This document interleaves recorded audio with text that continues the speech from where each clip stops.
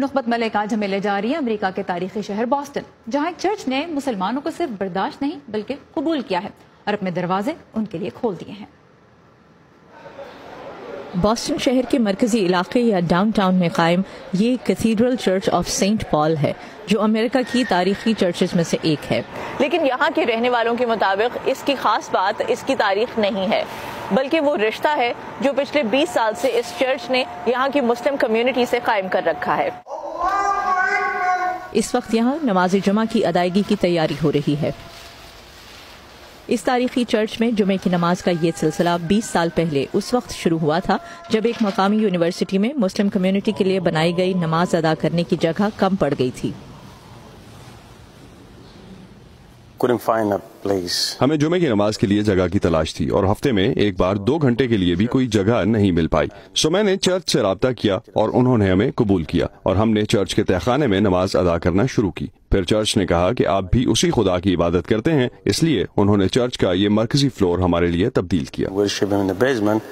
Second floor اٹھارہ سو انیس میں قائم ہونے والے اس قدیم چرچ کے مرکزی ہال میں عام گرجا گھروں کی طرح بینچز نظر نہیں آتے، جہاں بیٹھ کر روایتی انداز میں مسیحی افراد عبادت کرتے ہوں۔